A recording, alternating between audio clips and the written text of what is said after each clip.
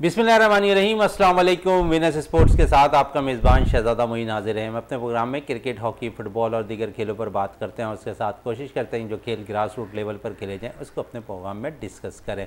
इस वक्त ऑस्ट्रेलिया में जो है टी ट्वेंटी वर्ल्ड कप जारी है, लेकिन अगर दूसरी तरफ़ देखें तो मुल्क के अंदर मुख्तलिफ़ खेलों का इनका भी किया जा रहा है। आज अपने प्रोग्राम में थोड़े से हम डिफरेंट गेम्स के हवाले से भी बात करेंगे और क्रिकेट के हवाले से भी करेंगे और हमारे साथ मौजूद हैं स्टूडियो में हमारे साथी स्पोर्ट्स एनालिस्ट जाफ़र हुसैन साहब। जाफ़र हुसैन साहब है क्या कहेंगे? बड़ा ज़बरदस्त टी ट्वेंटी वर्ल्ड कप जारी है बड़े मैचेस हो गए बड़े अपसेट भी होते हुए दिखाई दे रहे हैं इस टूर्नामेंट के अंदर। आ, समझते हैं कि जो पूल ए और पूल बी के दरमियान जो अगर देखते हैं तो बड़ा मार्का नज़र आ रहा है पूल ए बड़ा ज़्यादा टफ नज़र आ रहा है इस इवेंट के अंदर और बहुत सी टीमों को शिकस्त का सामना बड़ी टीमों को भी करना पड़ रहा है। क्या कहेंगे सबसे पहले इस देखिए, बड़ा अपसेट तो हुआ तीन चार दिन पहले जो आपके आयरलैंड ने हराया इंग्लैंड को और इसके अलावा ऑस्ट्रेलिया भी हार गई अपना पहला मैच तो ये अपसेट तो सिलसिला जारी है। इसके अलावा ग्रुप दोनों का जो है इस टाइम बड़ा मज़बूत हो चुका है। आपको पता है, जो फैसले हो चुके हैं मैचेस के आउटस्टैंडिंग है। लेकिन जिसने अच्छा खेला मैदान में, उसने बड़ा अच्छा परफॉर्म करके, जिसने एमसीजी ग्राउंड को, जिसने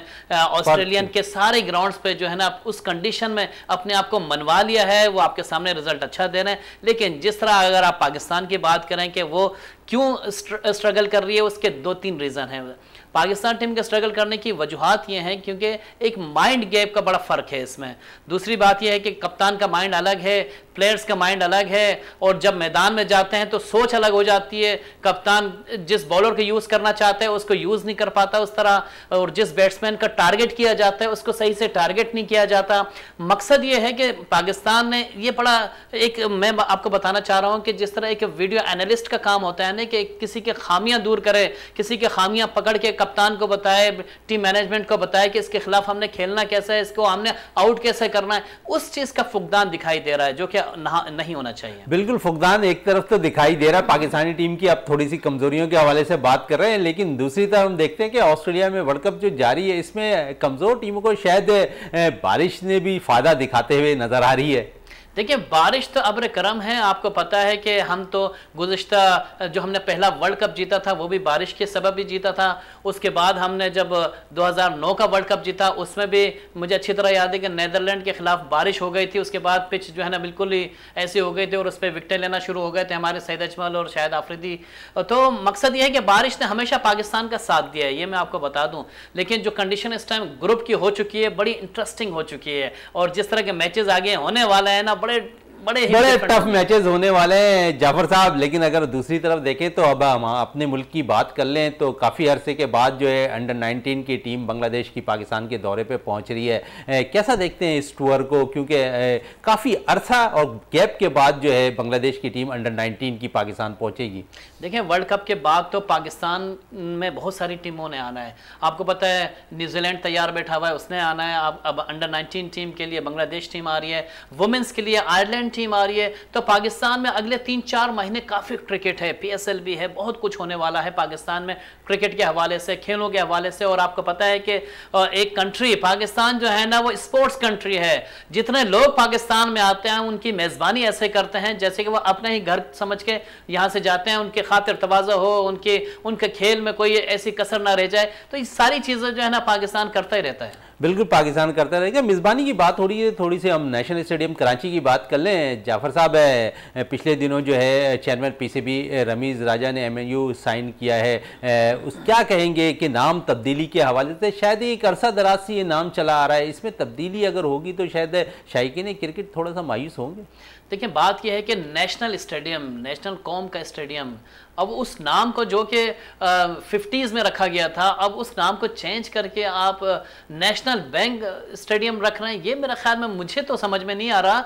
आप देखिए कजाफी स्टेडियम को क्यों नहीं नाम चेंज किया? आपने नेशनल स्टेडियम का नाम क्यों चेंज कर दिया? कजाफी स्टेडियम के हवाले से भी बहुत सारी ऐसी बातें आ रही थी कि भाई कजाफी स्टेडियम को चेंज किया जाएगा लेकिन आज तक चेंज नहीं हुआ। नेशनल का मकसद समझते हैं ना आप? बिल्कुल। तो मकसद यही कि एक नेशनल स्टेडियम को चेंज करना एक तारीखी ग्राउंड का नाम चेंज करना मेरे ख्याल में वो मौसर साबित नहीं होगा। आपको पता है कि hockey ground hockey club of Pakistan था। ठीक है यहाँ पे कराची में जो उसका नाम अब्दुल सत्तार ईदी रखा गया। उसके बाद से आप देखें हॉकी की कंडीशन क्या हो गई। देखिए नाम का बड़ा फ़र्क होता है इंसान की शख्सियत पे भी और उस जगह पे भी। तो जब नाम तब्दील हो जाता है तो उसका वो असर नहीं रहता। बिल्कुल असर नहीं रहता। आपने अब्दुल सत्तार हॉकी स्टेडियम की बात की तो अब थोड़ी सी बात हम कर लें। कौमी हॉकी टीम के हवाले से जो अजलान शाह हॉकी टूर्नामेंट खेलने के लिए मलेशिया रवाना हो गई है तो क्या कहेंगे? इस टीम के हवाले से अट्ठारह रुकनी टीम का दस्ता गया है। चेयरमैन अगर बात करें पाकिस्तान हॉकी फेडरेशन के सदर के हवाले से, जात खोकर के बड़ी उम्मीद नज़र आ रहे हैं कि अच्छी परफॉर्मेंस देंगे। दूसरी तरफ़ नौजवान जो सेक्रेटरी हैं, हैदर हुसैन, वो भी जो अक्सर हम देखते हैं, वो सिंध गवर्नमेंट की वाह करते नज़र आते हैं। उन्होंने यही कहा रहा है कि हमें सारी सपोर्ट जो है सिंध गवर्नमेंट करती नज़र आ रही है। तो समझते हैं कि ये एक अच्छा साइन है कि सिंध गवर्नमेंट तो अलग अपना किरदार अदा कर रही है, लेकिन दूसरे लोगों को भी कौमी कौमी खेल, हॉकी के लिए जो है अपना किरदार अदा करना चाहिए। देखिए, अल्लाह अल्लाह करके तो टीम गई है, बड़ी मुश्किल हो गई थी। ऐसा लग रहा था जैसे कि टीम, कौमी टीम जो है ना, वो किसी टूर्नामेंट में नहीं जा रही, बल्कि वो सिर सपाटा करने जा रही है। तो ऐसा लग रहा था, लेकिन ऐसा, देखिए, टीम के लिए हमारी नेक ख्वाहिशात हैं। अल्लाह पाक जो है ना, कामयाबी से हम किनार कराए और सारे मैचेस में और ट्रॉफी वगैरह वगैरह लेकर आए। तो मकसद ये है कि जो हर्डल्स आई हैं ना, वो बड़ी गलत तौर पे आई हैं और कुछ ऐसी पस पर्दा, कुछ ऐसी खबरें भी आई हैं कि इनको रोकने में कुछ लोग ऐसे शामिल थे जो कि दुश्वारियाँ खड़ी कर रहे थे, इनको ना जाने दिया जाए। टीम में उन खिलाड़ियों को नहीं भेजना चाहिए जो कि टीम का हिस्सा थे, जो लीग खेल रहे हैं, बहाने करके प्लेयर्स को नहीं भेजा गया। क्योंकि ये कौन है? ये वही लोग हैं जो कि पिछले फेडरेशन में थे, पिछले खिलाड़ी थे सबक खिलाड़ी थे। यही लोग जो है ना, वो अब अपने अपने ग्रुप्स बना के जो है ना, मौजूदा फेडरेशन के खिलाफ खड़े हो गए और इनको उस तरीके से काम नहीं करने दिया जा रहा जिस तरीके से काम करना चाहिए। तो इस वजह से जो अजलान शाह में जो इतनी देरी हुई है और इतने मसाइल जो खड़े हुए हैं इवन ये कि बहुत सारे मसाइल अभी भी खड़े हैं, अभी भी मौजूद हैं। आपको प्लेयर्स को जो है ना जो खेलना चाहते हैं उन प्लेयर्स को ये लोग जो है ना वो आ, मना कर रहे हैं कि नहीं खेलें आप वहाँ से पाकिस्तान से ना खेलें। इस तरह के लोग भी शामिल हैं। पाकिस्तान से ना खेलने की बात कर रहे हैं। जाफ़र साहब तो बहुत से प्लेयर्स तो लीग खेलने में मसरूफ हैं खासकर सीनियर प्लेयर्स है। दस नए लड़के ज़रूर इस टीम में शामिल किए गए हैं। तो समझते हैं कि ये फ़र्क तो आएगा जो दस लड़कों का ना होना। यार शहजादे कभी आपने माजी में सुना है कि नेशनल टीम तैयार हो रही हो किसी भी इवेंट के लिए और कोई खिलाड़ी मना कर दे कि मैं तो भाई लीग खेल रहा हूँ मैं नहीं आऊँगा? आप समझते हैं इस चीज़ को? खिलाड़ियों का फ़र्ज़ है कि पहले आपकी नेशनल टीम को प्रायोरिटी दे, उसके बाद आप कोई लीग खेल सकते हैं। जब ये खिलाड़ी ने, इन खिलाड़ियों ने मना किया तो उनको अपना मुस्तकबिल दो तरह से या तो वो पैसा कमा लें, या फिर वो मुल्क के लिए खेल रहे हैं। देखिए, मुल्क के लिए खेलने के बड़े चाम है आगे। अगर आप फेडरेशन से मामला खराब करेंगे खिलाड़ी की बात कर रहा हूँ। अगर आप फेडरेशन से मामला खराब करेंगे, या मुल्क के लिए नहीं खेलेंगे तो मसाइल कहाँ होंगे? उस खिलाड़ी के ऊपर होंगे। अब मुझे ऐसा लगता है, देखिए, ये खबर जो है ना चंद जगहों से होती हुई आई है तो इसमें सदाकत है भी, मैं आपको ज़रा नहीं बता सकता, लेकिन इसमें सदाकत है कि खिलाड़ियों को मना किया गया है कि आप टीम के साथ ना रहें और ना टीम के साथ कोई मैचेस वगैरह खेलें। तो कुछ ऐसे खिलाड़ी मौजूद हैं कुछ ऐसे खिलाड़ी ज़रूर मौजूद हैं लेकिन जो नए लड़के जा रहे हैं उनके लिए क्या कहेंगे? क्या परफॉर्मेंस अच्छी नए ख्वाहिशात हैं हमारे नए लड़कों को चांस देना चाहिए और यही अपॉर्चुनिटी होती है कि इस तरह के इवेंट्स होते हैं उसमें जाके इनका एक्सपोजर बढ़ता है। और जब एक्सपोजर बढ़ेगा यकीन ये लोग जो है ना अच्छा परफॉर्म करेंगे और आहिस्ता आहिस्ता ग्रेजुअली जो है ना यही जो जूनियर लड़के हैं ये कॉमी टीम में एज ए सीनियर हो जाएँगे। बिल्कुल जिस तरह कैंप कराची में लगा था इससे अजलान शाह के हवाले से जाफ़र साहब, तकरीबन खिलाड़ी जिस तरह हैदर हुसैन साहब अपने मुख्तलिफ़ इंटरव्यू में जो है, मुख्तलिफ़ चैनल्स पे कहते हुए नज़र आए कि तकरीबन साठ लाख रुपए का खर्चा इस कैंप के अंदर आता है खिलाड़ियों के ऊपर। दूसरी तरफ़ अगर देखें, जो टूर्स करती है टीम, वो तकरीबन चार करोड़ रुपये उस पर खर्च आते हैं। तो समझते हैं, जहाँ पर सिंध गवर्नमेंट उनको सपोर्ट करती नज़र आ रही है, दीगर अब हम देखते हैं कि एंग्रो भी उनको सपोर्ट करती हुई नज़र आ रही है, पाकिस्तान हॉकी टीम को। तो समझते हैं कि अब ये ज़्यादा बेहतर हो गया देखिए बड़ा अच्छा इकदाम है और ख़ास तौर पर सेक्रेटरी और सदर साहब का, फेडरेशन के जितने भी हॉकी के लोग हैं, उन सब का, कि इन्होंने बड़ी मेहनत से जो है ना एक एक टीम को भेजा है और टीम के लिए जो है ना कैंप का तयन किया, उसके बाद जो है ना स्पॉन्सर्स तलाश की। ये एक ये मरहला जो होता है ना, बड़ा मुश्किल मरहला होता है। किसी भी चीज़, किसी भी टूर्नामेंट के लिए, किसी भी खिलाड़ी के लिए या किसी भी फेडरेशन के लिए जो है ना फंड्स जमा करना। हालाँकि आपको पता है कि कौमी खेल को फंड्स वैसे ही मिलने चाहिए गवर्नमेंट से मिलना चाहिए पीएसबी से मिलना चाहिए, लेकिन अनफॉर्चुनेटली कोई हुकूमत की तो बिल्कुल तवज्जो दिखाई नहीं देती इस खेल में। इवन ये कि सिंध गवर्नमेंट कुछ कर रही है और सिंध गवर्नमेंट कितना करेगी? इतने अरसे से कर रही है और कितना कर लेगी हॉकी के लिए? मकसद ये है कि तमाम जितने आपके जो है ना जितने स्पॉन्सर्स हैं, उनको इसमें शामिल होना चाहिए और हुकूमत को तवज्जो देनी चाहिए कि कौमी खेल को किस तरह बचाना है, किस तरह आगे लेके चलना बिल्कुल, कौमी खेल को किस तरह बचाना है, किस तरह आगे लेके चलना है। थोड़ी देर पहले आप ज़िक्र कर रहे थे वुमेंस टीम के हवाले से तो क्या कहेंगे, कैसा देखते हैं इस टूर को? पाकिस्तानी खातन टीम, क्योंकि अगर देखें तो माजी में थोड़ी सी अच्छी कारकर्दगी ज़रूर दिखाती नज़र आ रही है पाकिस्तानी क्रिकेट टीम। देखिए एशिया कप में जो इंडिया को शिकस्त दी है ना पाकिस्तान वुमेंस टीम ने।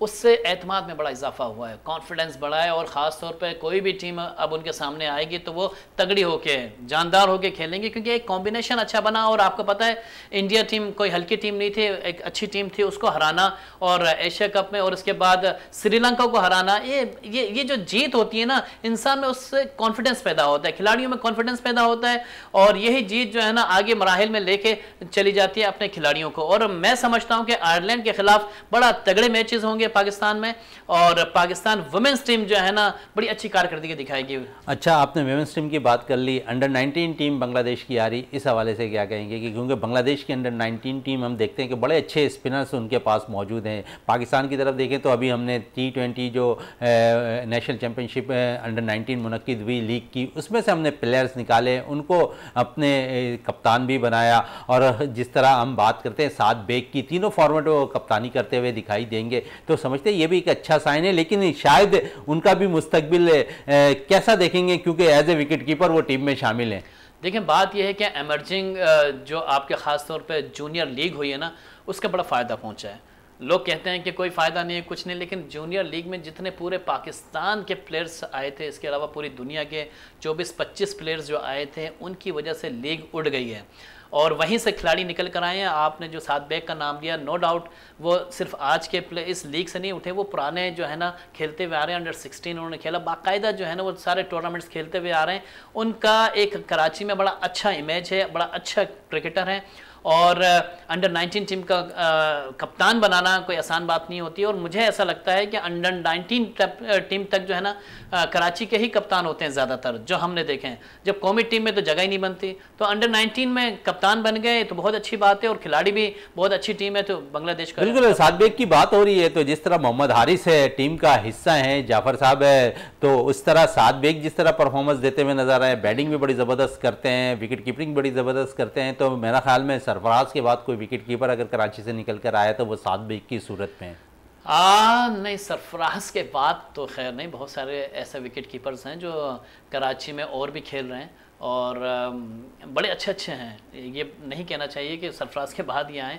हाँ ये कह सकते हैं कि अंडर 19 में जो अब कप्तान बनाया गया है ये कप्तानी जो है ना, सरफराज के बाद जो है ना विकेट कीपर के हाथ में आई है। लेकिन मकसद ये है कि सात बेग का अपना रोल है। वो एज ए बैटर कीपर है और जो सरफराज थे, वो as a pure wicket keeper थे। तो सात बेग जो है ना बैटिंग बड़ी अच्छी करते हैं और बैटिंग के साथ कीपिंग भी कर लेते हैं। और हारिस की जिनकी आप बात कर रहे हैं, वो तो मेरे ख्याल में जेन्यन विकेट कीपर ही हैं। तो इस तरह टीम का कॉम्बिनेशन बड़ा अच्छा है। टीम एक अच्छी बनाई गई अंडर 19 के हवाले से। और यकीनन जो बांग्लादेश के खिलाफ सीरीज़ होगी उसमें बड़ा अच्छा परफॉर्म करेगी पाकिस्तान टीम क्रिकेट हॉकी पे तो हमने बहुत बातें कर ली। अब थोड़ी सी बात हम इस वक्त कर लें गोल्फ के हवाले से। तो सिंध गोल्फ एसोसिएशन का तीन रोज़ा पैरागॉन जो है इवेंट शुरू होने वाला है। एमेचर और बड़ा ज़बरदस्त रहा इस इवेंट के अंदर। तकरीबन डेढ़ सौ गोल्फर ने हिस्सा लिया। क्या कहेंगे इस इवेंट के हवाले से? देखिए बड़ा अच्छे मैचेस हुए। जुमे से शुरू हुए थे ये मैचेस और आज आपको पता है संडे है। और आज तक जितने मैचेस हो चुके हैं, आज तो यह है कि जो आखिरी राउंड खेला गया गोल्फ का आउटस्टैंडिंग देखें, जो दिफाई चैंपियन थे, वो तो यहाँ पे थे नहीं, वरना और मुकाबला ज़्यादा अच्छा होता। आपको मालूम है कि जो हमारे दिफाई चैंपियन हैं और जो एमेचर्स के टॉप फोर खिलाड़ी हैं, वो इस इवेंट का हिस्सा नहीं थे। क्योंकि वो एशियन पैसिफिक गोल्फ चैम्पियनशिप में शिरकत कर रहे हैं, पाकिस्तान की नुमाइंदगी कर रहे हैं तो वहाँ पर भी बड़ा अच्छा परफॉर्म कर रहे हैं। लेकिन मकसद ये है कि ये जो टूर्नामेंट है ना रैंकिंग टूर्नामेंट है, ये टूर्नामेंट सालाना टूर्नामेंट है और ये हबीब बैंक करवाता है और आज से नहीं करवा रहा मेरे ख्याल में, ये कोई बीस साल से करवा रहा है और बड़ा अच्छा टूर्नामेंट होता है। लोग इस टूर्नामेंट का इंतज़ार करते हैं। मैं आपको इसकी खसूसियत बताता चलूँ।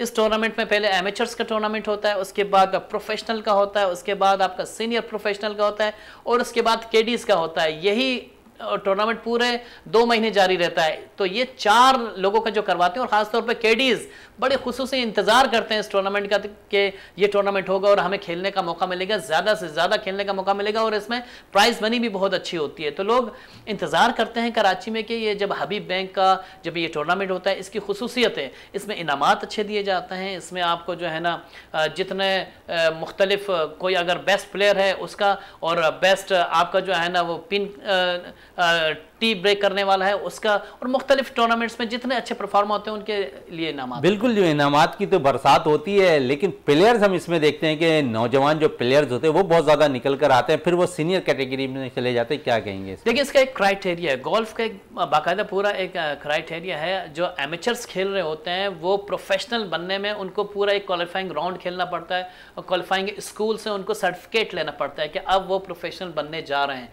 तो बहुत सारे ऐसे गोल्फर्स हैं जो कि एमेचर से प्रोफेशनल बने हैं और अहमद बेग बड़ा नाम है जो पाकिस्तान के नौजवान गोल्फर हैं, जो पिछले दो सालों से एमेचर्स खेल कर जो है ना वो प्रोफेशनल में आए उन्होंने बड़ी फतूहत हासिल की। इवन ये कि रोमेंजा गोल्फ कोर्स में जब गोल्फ का बड़ा टूर्नामेंट हुआ जिसमें इंटरनेशनल गोल्फर्स आए थे आपके बड़े बड़े नाम आए थे। चार्ली हिल्स आई थी आपकी इंग्लैंड से उन खातून ने भी शिरकत की थी और पाकिस्तान की हमना ने बड़ा अच्छा खेला था। तो ये जितने इंटरनेशनल इवेंट हुए उसमें भी हमारे नौजवान गोल्फर्स ने बड़ा अच्छा अच्छा आपने नौजवान खासकर विमेंस से गोल्फर्स की बात की। पाकिस्तान के अंदर कितनी तादाद है गोल्फर्स की वीमेंस की जाफ़र साहब, क्योंकि आप बड़ा रिसर्च करते हैं इस पर बड़े इवेंट कवर भी करते हुए नज़र आते हैं। देखिए शहजादा पाकिस्तान की golf day by day grow कर रही है और आपको अंदाज़ा नहीं है कि जितने इन्वॉलमेंट गोल्फ में नौजवानों की है और किसी में नहीं है। और इसमें लोग समझते हैं कि बूढ़ों का खेल है, ऐसा कुछ नहीं है। ये नौजवानों का खेल है और इसमें बड़े चाम है। इसमें बड़ा, देखिए, एक तो सबसे पहले ये कि ये टेक्निकल गेम है, बहुत ज़्यादा टेक्निकल है। आप जब घुसेंगे तो आपका माइंड ऐसा शार्प हो जाएगा कि आप सोचते रह जाएँगे कि भाई, मैं क्या खेल रहा हूँ? तो नौजवानों की तादाद बहुत ज़्यादा है। आपकी खातन बड़ा खेल में, इस खेल में आगे आ रही हैं और ये मज़े की बात यह है कि आप इसमें 10 साल से लेके 90 साल तक के उम्र के लोग इसमें खेल सकते हैं। ये एक ऐसा खेल है। आपके जो है ना ख़वान में जो है ना, हमना अमजद बड़ा इस टाइम टॉप पर है नेशनल रैंकिंग में नंबर वन है। आपके जो है ना मुख्तलिफ़ एक लाहौर की हैं। वो बड़ा अच्छा परफॉर्म करें, इन्होंने आपके जो है ना इंटरनेशनल इवेंट्स में भी शिरकत की। तो मकसद ये है कि जितने ये आपके नौजवान प्लेयर्स हैं गोल्फ में, इस वजह से आ रहे हैं कि उनका फ्यूचर ब्राइट है। आप, मैं आपको बताता चलूँ, जो हमारे नेशनल चैम्पियन उन्होंने पढ़ाई भी थोड़ी से जो है ना, अपनी खेल की वजह से पीछे कर दी थी। उसका रीज़न ये था कि वो कुछ खेल में गोल्फ के खेल में टाइम ज़्यादा देना पड़ता है। आपको तकरीबन बीस होल के अठारह होल खेलने पड़ते हैं और दस किलोमीटर का फासला आपको चल कर आपको तय करना पड़ता है। तो मकसद ये नहीं है कि मैं आपको किसी खेल के बारे में कोई नहीं नहीं बिल्कुल सही बात है बिल्कुल लोग नाजरीन को ज़रूर ये मालूम होना चाहिए। बिल्कुल जाफ़र साहब। जो लोग सुबह वॉक करते हैं ना उनको अंदाज़ा है कि गोल्फ में जो है ना वॉकिंग ज़्यादा है और आपको कम से कम 10-12 किलोमीटर फासला तय करके आपको एक पूरा राउंड मुकम्मल करके आना पड़ता है। सुबह सात बजे निकलता है तो दो बजे वापस आता है। वो इतना जल्दी नहीं आता, पूरा खेल कर खेल कर आता है। तो इसमें थोड़ा सा टाइम ज़्यादा देना पड़ता है। तो मैं बता रहा था कि कुछ ऐसे प्लेयर्स हैं जिन्होंने अपने पढ़ाई को पस से पुश डाल के उस टूर्नामेंट की तैयारी की। तो बाद में जो है ना, उनको पता चला कि यार उन्होंने बड़ा अच्छा किरदार अदा किया, बड़ा अच्छे चैंपियनशिप जीती, लेकिन फिर पढ़ाई को उन्होंने दोबारा उसके रिज्वाइन किया। तो मकसद ये है कि जितने लोग हैं वो पढ़ाई के साथ खेल भी रहे हैं। तो ये गोल्फ का खेल बड़ा ब्राइट और पाकिस्तान बड़ा ग्रो कर रहा है। पाकिस्तान में बड़ा ग्रो कर रहा है। दूसरी तरफ़ अगर हम देखें तो पाकिस्तान में ब्राइट की आप बात कर रहे हैं, पंजाब गेम्स हो रहे हैं, उसमें बहुत सी चीज़ें जो है देखते हैं कि दस्ते के साथ भी कुछ चीज़ें होती हुई दिखाई नहीं दी। क्या कहेंगे? क्योंकि हमने देखा कि सिंध के दस्ते को जो है ना बाकायदा तौर पर किट फराम नहीं की गई थी। उन्होंने ये कहा कि थोड़ा लेट हमें ज़रूर मिला। क्या कहेंगे? ये चीज़ें तो पहले से डिसाइड होनी चाहिए, सब चीज़ें तैयार होनी चाहिए, जाफ़र साहब। देखिए, मकसद ये है कि ये किट का ना होना, देखिए, पाकिस्तान में जो टूर्नामेंट्स करवाना और उसको, उसके स्पॉन्सर पकड़ लेना बड़ा आसान हो रहा है। बहुत सारे ऐसे टूर्नामेंट्स हो रहे हैं जो कि मुनद कर दिए जाते हैं और उसमें जो है ना खेलों के लिए, खेलों में आपके जो है ना जितने प्लेयर्स हैं उनको सहूलियात मैसर नहीं आती। देखिए, ये नॉर्मल चीज़ बन चुकी है। पानी नहीं है, खाना नहीं है, किट नहीं है, खिलाड़ी पहुँच चुका है टाइमिंग बिल्कुल चेंज है। तो ये मसाइल जो है ना बड़े खिलाड़ियों को सामने आ रहे हैं और जो भी ऑर्गेनाइज़र हैं, देखिए, ऑर्गेनाइज करना और टूर्नामेंट करवाना बड़ी अच्छी बात है। खेलों के मौाक़े मिलते हैं आपके प्लेयर्स को तो मकसद ये है कि जितने प्लेयर्स आ रहे हैं, उनके लिए सहूलियात भी उसी तरह की होनी चाहिए। टूर्नामेंट तो आप करवा लेते हैं, स्पॉन्सर पकड़ के सारी चीज़ें हो जाती हैं, लेकिन जब सहूलियात नहीं होंगे तो खिलाड़ी जाएगा कहाँ? वो अपने, अपना प्रॉपर कैसे काम कर पाएगा? तो वो सहूलियात जितनी होंगी उतना ही खिलाड़ी जो है ना अपना अच्छा परफॉर्म कर पाएगा। बिल्कुल सहूलियात की बात हो रही है तो थोड़ी सी बात हम जो है कर लें। स्नोकर के हवाले से भी जाफ़र साहब के हवाले से मैं आपको बता दूँ लेकिन आप शूटिंग के बाद ज़रूर कीजिएगा। बिल्कुल बिल्कुल पाकिस्तान के नामवर जे एम बशीर जो है ना बिल्कुल शूटिंग की बात हम थोड़ी देर बात करते हैं। इस वक्त जाफ़र साहब ब्रेक के लिए कहा जा रहा है ब्रेक से वापस आते हैं तो गुफ्तु को मजीद जारी रखते हैं।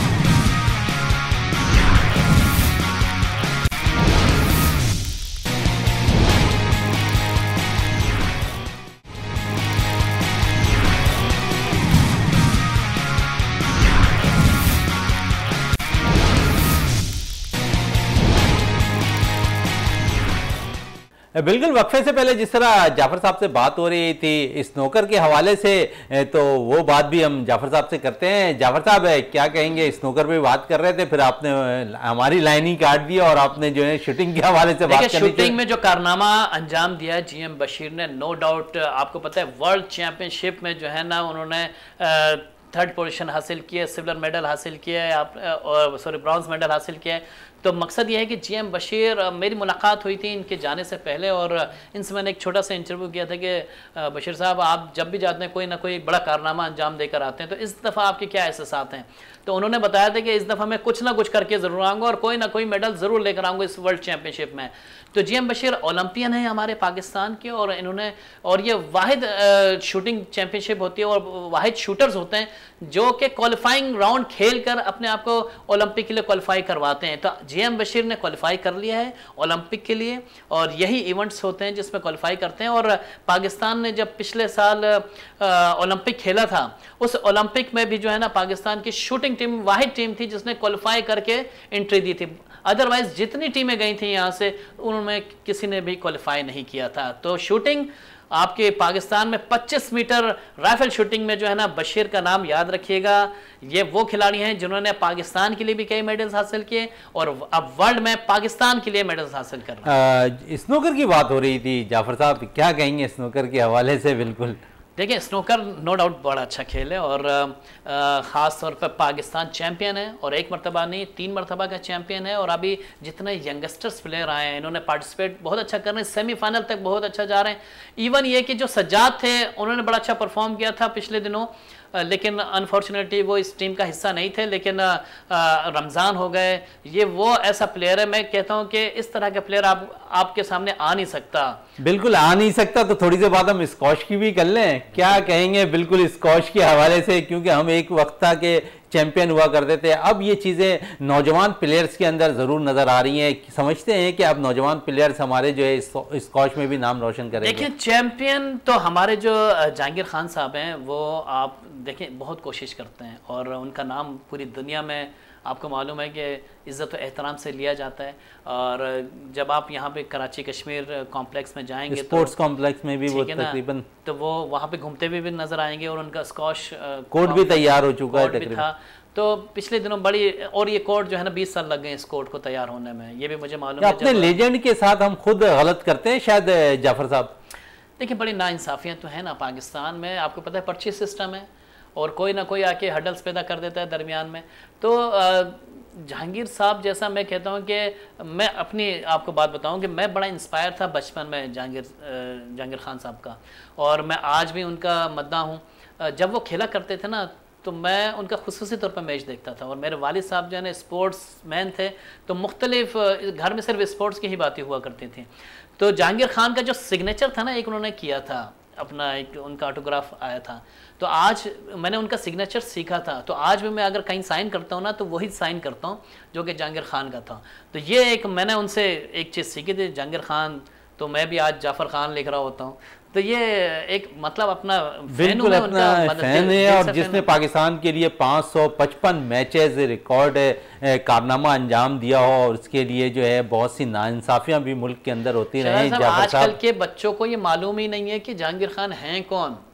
जब किसी को पता चल जाए ना कि जहांगीर खान थे कौन तो लग पता जाएगा कि यार इस जैसा लेजेंड खिलाड़ी नहीं जिसने अकेले एक वाहिद शख्सियत ने जो है ना बाद में आए थे जानशेर लेकिन इस वाहिद शख्सियत ने जो एक सीढ़ी रखी थी ना आ, आ, आ, मेडल्स की और फतुहात की। तो शायद वो तोड़ना किसी के बस का काम शायद ही नहीं नहीं है जाफ़र साहब। उन गोरों के और उन इंग्लैंड में जाके वहाँ पे उनके मुँह पे जो है ना चमाटे मारना बड़ा बड़ा ही बेहतरीन काम था और जहांगीर खान ने ऐसा किया।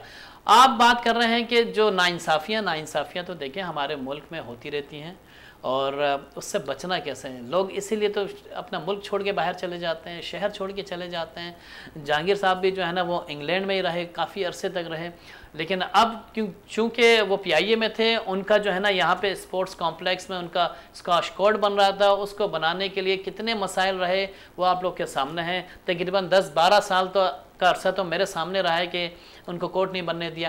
खैर, अब जो टूर्नामेंट्स हो रहे हैं, इसमें नौजवान जो बच्चे खासतौर पर खेल रहे हैं, मैं नौजवान की बात नहीं कर रहा, जो बच्चे खेल रहे हैं, वो अच्छा अच्छा नज़र आ रहे हैं, लेकिन ये है कि अभी थोड़ा सा टाइम लगेगा उस मैार पर आने के लिए, क्योंकि अभी अगर आप रैंकिंग देखें वर्ल्ड रैंकिंग में हमारा जो स्क्वाश प्लेयर है, वो साठवें नंबर पर साठवें, पैंसठवें नंबर पर आ रहा है। तो उस पर ऊपर जाने के लिए अभी बड़ा टाइम चाहिए ऊपर जाने के लिए बड़ा टाइम चाहिए। बैडमिंटन के हवाले से थोड़ी बात कर लें। जाफ़र साहब माहूर शहजाद बड़ी ज़बरदस्त बैडमिंटन प्लेयर हैं। उनके हवाले से क्या कहेंगे? पलवशा बशीर के हवाले से क्या कहेंगे? कैसा देखते हैं इन दोनों प्लेयर्स को पाकिस्तान में बैडमिंटन के? देखिए माहूर शहजाद नो डाउट बहुत आउटस्टैंडिंग प्लेयर और सिंगल की तो वो मास्टर आज भी चैम्पियन है। और अब मंगनी हो गई उनकी। अब शादी होने जा रही है। तेरह तारीख को उनकी शादी है। तो उन्होंने चैम्पियनशिप खेलने से भी इनकार कर दिया, जो रैंकिंग आपके नेशनल चैम्पियनशिप हो रही है। उन्होंने कहा कि मैं शादी की वजह से नहीं खेल सकती। तो एक बड़ी अच्छी हमारी नेशनल चैम्पियन है और माहौर की ख़ास बात यह है कि वो कभी पीछे नहीं हटी कोई भी टूर्नामेंट हो, कहीं भी, कैसे भी जगह पे हो कभी उन्होंने, मैंने नहीं सुना कि उन्होंने किसी की बुराई की हो या किसी के जो है ना ये कहा हो कि भाई हमें पानी नहीं मिल रहा, हमारे कोर्ट सही नहीं है, हमारा फलाना सही नहीं है। उन्होंने अपने खेल पे तवज्जो दिए और यही यही म्यार जो है ना, उनको आगे तक लेके गया। आज जो जब नेशनल चैम्पियन हैं तो उनके पीछे यही उनकी ईमानदारी उनकी दयानतदारी यही रोल जो है ना उनको आगे तक लेके गया पलवशा के हवाले से क्या कहेंगे? नो डाउट पलवशा डबल की चैम्पियन रही है हमारे सिंगल की चैंपियन रही है हमारी नेशनल चैम्पियन रही। पलवशा बशीर ने बड़ी स्ट्रगल की बड़ी मेहनत की और वो एक दौर में तो मुझे ऐसा लग रहा था कि उनका एक बड़ा एक मकाम बन चुका है, लेकिन उनके एक मकाम को जो, उनके जो एक पोजीशन को जो तोड़ा है, वो माहौर ने तोड़ा था। तो पलवशा भी नो डाउट बहुत अच्छा परफॉर्मेंस थी, और यही वो लेजेंड्स हैं हमारे, जिनको देखकर इंस्पायर होकर नई बच्चियाँ भी आई और नई बच्चियों ने भी खेलना शुरू किया है। नई बच्चियों ने भी खेलना शुरू किया। अब थोड़ी सी बात है, जाफ़र साहब, है, तीर अंदाजी के हवाले से कर लें, क्योंकि निशानेबाजी की तो आपने बात कर ली, अब तीर अंदाजी की भी थोड़ी सी बात कर लें। क्या कहेंगे जिस तरह की पाकिस्तान के अंदर मुख्तलिफ़ फेडरेशन जो हैं, अब तीरंदाजी की काम करते दिखाई दे रही हैं। एफिलेटेड जो ग्रुप है, शायद वो इन नौजवानों को शायद आगे आने नहीं देता, जो इस गेम के अंदर हम देख रहे हैं। मुख्तलिफ़ अगर देखें तो मुख्तलिफ़ प्लेयर्स जो हैं निकल कर ज़रूर सामने आ रहे हैं, लेकिन दूसरा जो एक ग्रुप है शायद, वो इस पर काम करने नहीं दे रहा है इनको, खासकर इन प्लेयर्स को। देखिए, बड़ा मसला है। ये पैरल बॉडी जो बनी हुई है ना, इसकी वजह से बड़े नुकसान हो रहे हैं। आपका तीरंदाजी में आपका जो करता धरता है देखें बात यह है कि जो भी करे नाइंसाफ़ी ना करें। देखिए, खिलाड़ियों का इससे कोई ताल्लुक नहीं कि कौन सी फेडरेशन बनी हुई है, कौन सी फेडरेशन फेडरेशन काम कर रही है, उनका ताल्लुक खेल से है। कहीं भी टूर्नामेंट होता है, वो खेलने जाएँगे। देखिए मामला ये हैं कि आप, अगर मेरी फेडरेशन है तो मैं अपने लड़कों को रोक देता हूँ कि आपकी तरफ़ से ना खेलें। सर ऐसा क्यों होता है? ये चीज़ तो नहीं होनी चाहिए ना यही चीज़ नहीं होनी चाहिए। मैं क्यों रोकूं? एक खिलाड़ी के लिए नुकसान हो रहा है ना। आप खिलाड़ी का फ़ायदा नहीं सोच रहे अपने जात का फ़ायदा सोच रहे हैं कि भाई मैं रोकूँगा मेरे खिलाड़ी ऐसा नहीं होना चाहिए। खिलाड़ियों को जहाँ मौका मिले वो पार्टिसिपेट करना चाहिए और खिलाड़ियों को खेलना चाहिए। देखें बात यह है कि एक तरफ़ आपके अब्दुल्ला एहसान फेडरेशन चला रहे हैं ठीक है? और दूसरी तरफ़ जो है ना आपके शेख साहब चलवा रहे हैं। तो मकसद ये है कि जो शेख साहब कर रहे हैं, वो भी अच्छा काम कर रहे हैं, जो अब्दुल्ला कर रहे हैं, वो भी अच्छा काम कर रहे हैं। आपका मसला कहाँ पे आ रहा है? मसला यहाँ पे आ रहा है कि आप एक दूसरे के टूर्नामेंट्स में जो है ना, अपने खिलाड़ी नहीं भेज रहे। जब आप खिलाड़ी भेजेंगे तो इस तरह खेल प्रमोट होगा। देखें बॉडीज़ बहुत सारी जगह पे ऐसे दो दो बॉडीज़ बन जाती हैं, लेकिन खिलाड़ियों को नुकसान नहीं होना चाहिए। अगर अब्दुल्ला अच्छा काम कर रहा है या शेख साहब अच्छा कर रहे हैं, दोनों आपस में मिलकर काम करें, बहुत अच्छे रिज़ल्ट आएँगे। तो ये जो एक अना का मसला है ना, ये एक जो आपका जो कॉलर खड़े हो जाते हैं, जो कि एक जेलसी जो शुरू हो जाती है, इस चीज़ को ख़त्म करना है। अपने आप को मिलाकर मुतहद होकर खेलेंगे तो मेरे ख्याल में ये खेल बहुत आगे जाएगा। बिल्कुल, ये खेल बहुत आगे जाएगा। थोड़ी सी जहाँ पर हमने तमाम गेम्स की बात की, दोबारा क्रिकेट की तरफ़ वापस आते हैं। जाफ़र साहब है, पाकिस्तान क्रिकेट बोर्ड जो है इंटर स्कूल टूर्नामेंट भी मुनद कर रहा है। कैसा देखते हैं इस इंटर स्कूल टूर्नामेंट्स को, जो पी का ये इकदाम है? देखिए टूर्नामेंट सिर्फ़ एक टूर्नामेंट करवा लेना काफ़ी नहीं होता। इसको जारी सारी रखना पड़ेगा। आपका एक इंटर स्कूल टूर्नामेंट करवाना बहुत अच्छी बात है और नर्सरी पे जितने बच्चे सामने आएँगे यूथ के जितने बच्चे सामने आएँगे बहुत अच्छा टैलेंट सामने आएगा क्योंकि हमारे यहाँ हमारा तो पूरा नेशन ही क्रिकेट खेलता है ना। किसी भी कोने में चले जाएँ आप किसी भी गली मोहल्ले में चले जाएँ आपको क्रिकेटर मिलेगा। तो मकसद ये है कि क्रिकेट आपके जो है ना वो नस नस में है आपके खून में गर्दिश कर रही है क्रिकेट। तो आप एक पत्थर उठाएँगे आपको क्रिकेटर नज़र आ जाएगा। तो नर्सरी लेवल पे जब आप ये करवा रहे हैं तो नो डाउट एक अच्छा इकदाम है लेकिन इसको जारी सारी रखें तो मेरे ख्याल में ज़्यादा बेहतर है अच्छा इनमें से जो प्लेयर्स निकल रहे हैं जाफ़र साहब हैं क्या उसको जो है ग्रूम करने के लिए हाई परफॉर्मेंस सेंटर इन्हें ज़रूर तलब करना चाहिए जो अच्छे प्लेयर हाई परफॉर्मेंस सेंटर में क्यों सब कुछ लाहौर में क्यों? मेरा सवाल ये कराची में क्यों नहीं? आपका बड़ा शहर है ना? मुल्तान में क्यों नहीं? पिंडी में क्यों नहीं? पूरे पाकिस्तान में होना चाहिए। कोयटा में क्यों नहीं? कोयटा में बड़ा टैलेंट है। कोयटा में क्यों नहीं करवा रहे हैं? वहाँ की ग्राउंड्स को आबाद करें। सिर्फ़ लाहौर में, सिर्फ़ एक ही जगह पे, एक ही सूबे में आप करवाएँगे तो ये नुकसान होगा कि बाकी सूबे फिर क्या करेंगे?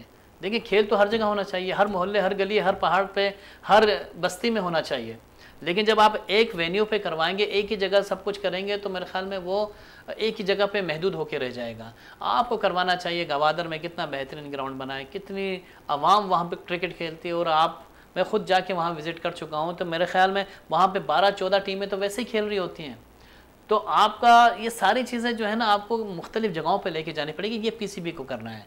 ये सिर्फ़ मुझे और आपको नहीं करना पीसीबी करेगा क्योंकि वो इदारा है वो इदारा क्रिकेट चला रहा है। जब वो इंटर स्कूल टूर्नामेंट अगर छोटी जगहों पे कराएगा तो वहाँ का टैलेंट ज़्यादा सामने तो जिस तरह भी आपने थोड़ी देर पहले गवादर का ज़िक्र किया स्टेडियम का जाफ़र साहब है क्या ये इसका ग्रैंड जो फाइनल हो इंटर स्कूल का वो वहाँ पर बच्चों के लिए कराया जाए गवादर स्टेडियम में तो थोड़ी सी चेंजिंग ज़रूर आ जाएगी। देखिए ग्रैंड फाइनल तो मैं नहीं कहता कि वहाँ पे होना चाहिए। उसका रीज़न ये है कि बहुत सारी सहूलियात चाहिए होती हैं।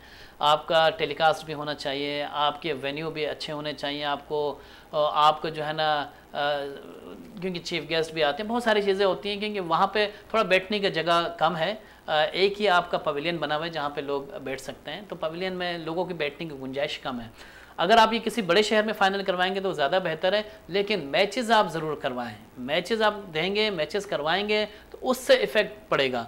ये नहीं है कि आपने फलाने स्कूल को कहते हैं फला, अगर कोई स्कूल आ रहा है तो वो अपने साथ पूरे स्कूल को लेकर आएगा। उसको बैकअप करने के लिए, उसको सारी चीज़ें करने के लिए। तो आप पूरे स्कूल को दावतनामा देंगे। तो स्कूल के जब बच्चे आएँगे उनके लिए बैठने का उनके उनके खाने पीने का इंतज़ाम भी तो होना चाहिए ना भाई। तो ये सारी चीज़ें होनी बिल्कुल तमाम सहूलतें होना चाहिए। जाफ़र साहब अब ये बताएँ कि मुझे कि Pakistan world cup T twenty में कैसा इसको देख रहे हैं कि चांसेज़ हैं पाकिस्तान के कि पाकिस्तान जो है वर्ल्ड कप टाइटल अपने नाम करे? क्यों नहीं करे? हमारा हमारी टीम है, हमारा मुल्क और ख़ास तौर पे जो हमारी टीम चल रही है, बहुत अच्छा परफॉर्म कर रही है और फाइनल जीतना चाहिए।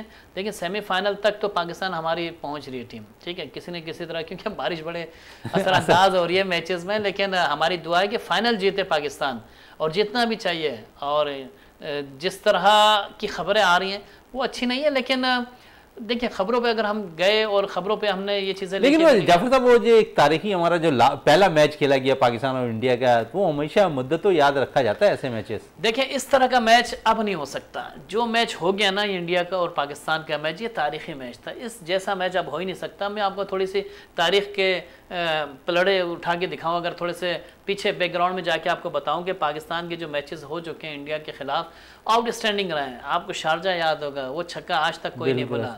ठीक है? ये ये जो मैच था ये कोहली का था। कोहली का वो हारिस को दिया हुआ छक्का वो आज तक कोई नहीं भूलेगा मैं आपको बता रहा हूँ। जिस तरह उन्होंने यहाँ से उठाए सीने से वो नो डाउट वो दो छक्के जो मारे हैं ना कोहली ने कमाल के मारे हैं। इस तरह की बहुत सारे ऐसे मैचेस हैं। आपका 2011 का जो आप सईद अजमल का जो तेंदुलकर को एलबीडब्ल्यू करना था वो नहीं देना। ये सारे वाक़ात ऐसे हैं जो कि इंसान भुला ही नहीं भूलता। आपको 2007 का टी ट्वेंटी वर्ल्ड कप का फाइनल आपका जो है ना मिसबा का जो है ना वो पुल करना और उस पर कैच हो जाना ये सारी चीज़ें जो है ना ये वो लम्हात हैं जो पाकिस्तान इंडिया के दरमियान चलते रहते हैं। एशिया कप में आ जाइए आफरीदी का ऐशवन को छक्का मारना कि भाई टेलीकास्ट होते होते उन्होंने कैमरा ही रुख मोड़ दिया। तो बहुत सारी ऐसी चीज़ें हैं जो कि इंसान भुलाए नहीं बिल्कुल पाकिस्तान इंडिया मैच में बड़ी चार्मिंग और बड़े शायकीन ने क्रिकेट। इस मैच को दिलचस्पी से देखते प्रोग्राम में टाइम कम है। जाफ़र हुसैन साहब आपका बहुत बहुत शुक्रिया। प्रोग्राम का अख्ताम करते हैं इस दुआ के साथ कि पाकिस्तान में खेल और खिलाड़ी तरक्की करते रहें और पाकिस्तान का सबसे लाली परचम दुनिया भर में रोशन रहे। इसी के साथ अपने मेज़बान शहजादा मोइन को इजाज़त दें। पाकिस्तान जिंदाबाद।